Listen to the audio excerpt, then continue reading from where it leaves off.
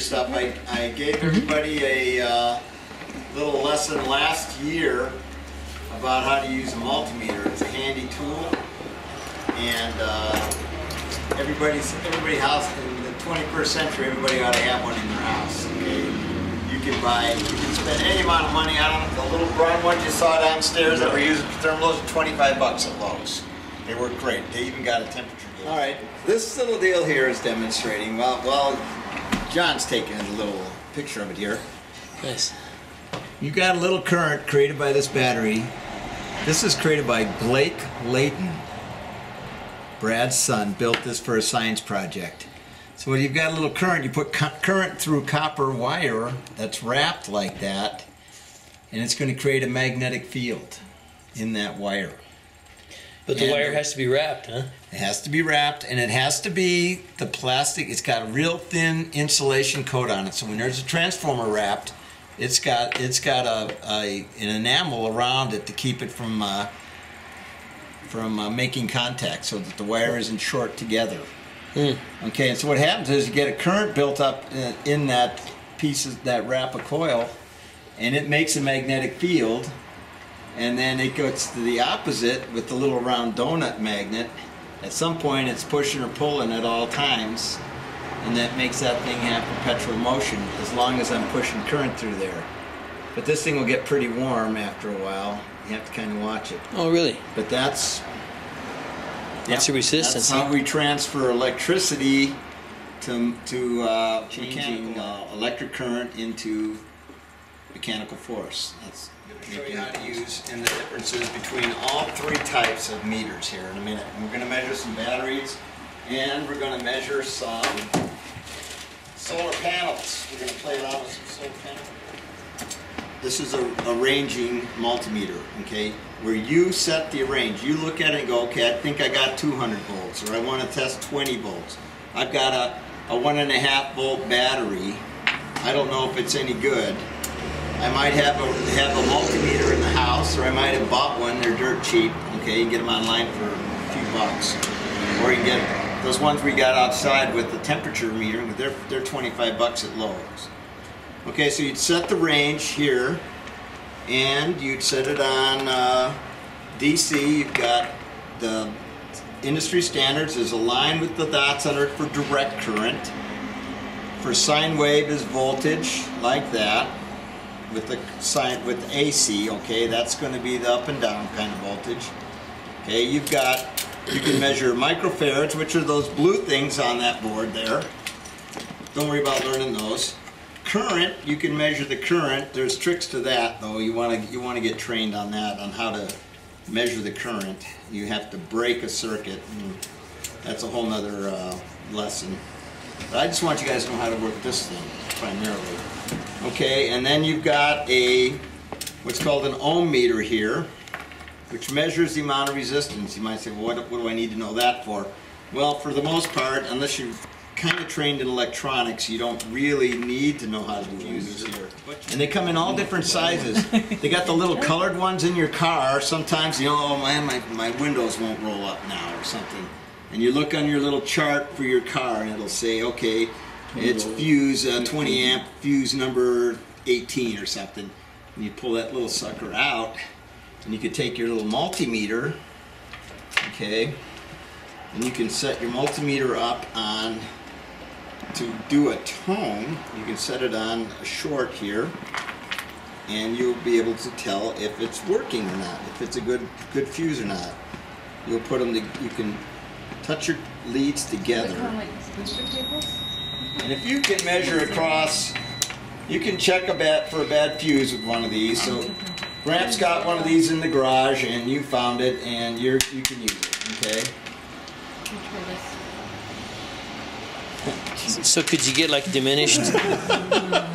She needed that one on demo. could you have some diminished? Uh, you know, if your needle go, doesn't go up, it's not deflected as much, and it could it be that the fuse parts kind of kind of bad?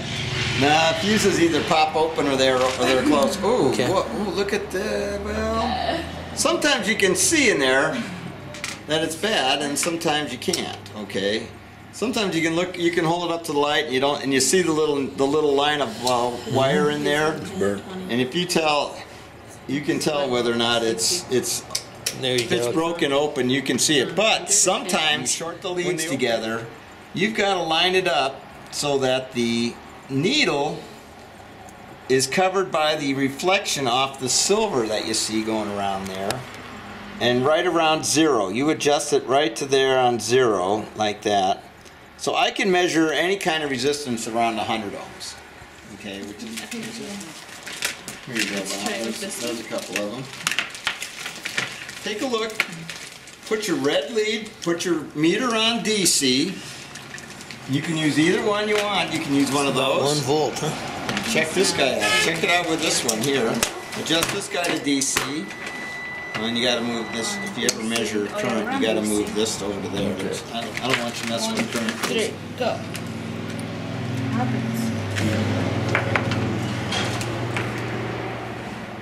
Now you know what? The uh, analog meters were were antique. Oh, they're moving. No, it's working. It's working very little. What do you got there? Out of volt. the 10 volt range. You're only getting like a couple of volts. You're not even getting one. Drop it down a range, you get a little more accurate reading. Then you got to consider you're looking at the top one. So we're at 2.5. This one ends at 250, so we can do the decimal thing in our head. And we got right around, if she can hold it steady for a second, it's about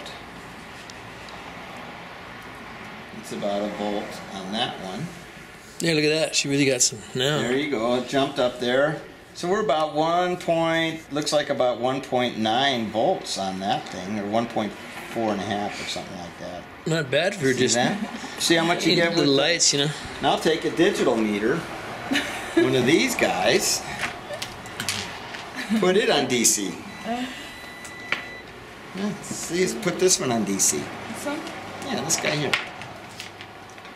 You got you got these leads here. Oh, wrong one. This one will be able to clip on. These What kind are of handy. So you put the red one on the red and the black one on the black. Okay. You clip it on. You gotta put you gotta push in on the back of it here. These are this is just a little clip like that. You can stick it in there like that. Wow. You see that? You know, it's kind of like putting a, a needle in the hole in the uh, getting a thread, Thread in and a a needle, needle. Or uh, putting your your fishing lure on your. Uh, That's a pretty line. sweet little uh, gripper deal, huh? So those little grippers are kind of handy. Okay, she's got that. Now you now she wants to set it on uh, DC. Where's that that's, at? That's that's amperage there. A is for amps. You want to turn it on. Now voltage is DC. If you want to check batteries and stuff, you're going to switch it over to the line with the three dashes on it. Okay, right to there. Now we're starting to see some readings. Now you've got about 1.3 volts coming in on that that solar panel. Okay, we saw Daisy chain the batteries. Daisy chain these batteries. This is the way it is in my car. I've got an escape out there. It's a hybrid. I got 300 volts. 27 volts. That's 20, about 23 because I gave him the battery that's no good here. Oh. But that's the demo that you still got voltage and it'll still add, it'll still accumulate, okay? So if I needed 20, 23 volts and I had one bad battery, I could still use it, okay? So they daisy chain together. You see that? So batteries mm-hmm. add up in series, positive to negative, positive to negative, and you can get more voltage out of them. And I've Wow. seen guys daisy chain these guys. You can YouTube videos where kids have taken boxes of these 9 volt batteries and get 110 volts and then light a light bulb. If we take and we twist these two guys together here, and if uh, if we can get them to stay together, done this too many times, I might have to strip them down a little more. And if Gerald wanted to measure these two guys, now what do we got? Click on the black, Oh, sweet. That's squee. squee. I mean, Nice. Grant, I keep getting my squee, my friend squee. Look at that, okay. Now we're up to two and a half volts, almost three volts. Mm-hmm. Nice. That's how they're getting 110 volts of electricity over there off of those solar panels. They got a whole Excuse me. slew of these things. Daisy chained together.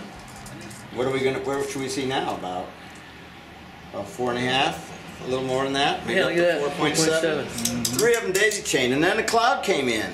Oh, look at that! Mm-hmm. It went down. You see how that works? If you hold it over the window and you got more light, it probably did jump up to. We carried this over there. We'd probably jump up to what we've seen two here. We know our outlets are 110 volts AC. Where's the vault? You can come over to your outlet, vault. Okay? Oh, An no. alternating current doesn't care whether it's the red or the black, okay? So you can come over to your alt, to your uh, thing. Here, I'll put this up so John can tape it. Okay? And you can carefully go to your outlet and you can stick your leads into your outlet Right on left. and you will see that you got your 110. This has got 120 volts because this thing reads AC in what's called RMS, okay? I'm not going to go into the math.